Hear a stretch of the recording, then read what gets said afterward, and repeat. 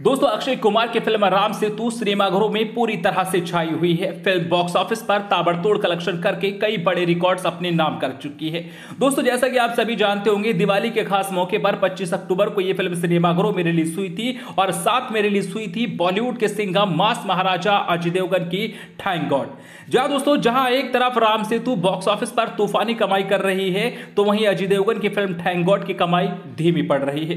और कहीं ना कहीं ये बहुत ही उदासी वाली बात बात है, क्योंकि अजय देवगन की इससे पहले बहुत सारी फ़िल्में फ्लॉप रही। उम्मीद थी कि थैंक गॉड दर्शकों को एंटरटेन करेगी और फ़िल्म बॉक्स ऑफ़िस पर हिट होगी।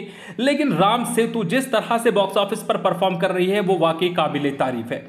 तो दोस्तों, आज राम सेतु को तीसरा दिन पूरा कंप्लीट हो चुका है। बात करने वाले हैं इस वीडियो में फ़िल्म के पूरे तीन दिनों के world wide box office collection के बारे में बजट के बारे में हिट और फ्लॉप के बारे में। तो दोस्तों, बस आप इस वीडियो के साथ बने रहिएगा। लेकिन दोस्तों, उससे पहले अगर आप अक्षय कुमार और अजय देवगन को एक बेहतरीन अभिनेता मानते हैं तो इस वीडियो को दिल से लाइक कर देना।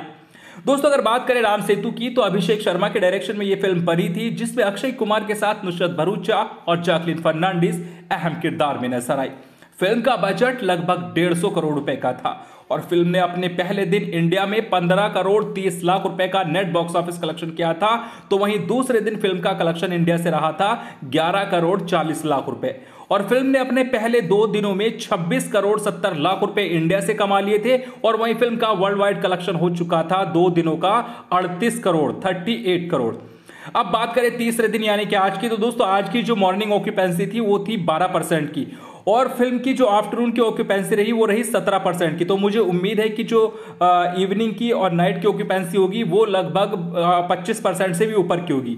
तो आज फ़िल्म का जो कलेक्शन है, वो आठ करोड़ रुपए इंडिया से नेट होने वाला है। वहीं फ़िल्म वर्ल्ड वाइड दस करोड़ रुपए कमाने वाली है।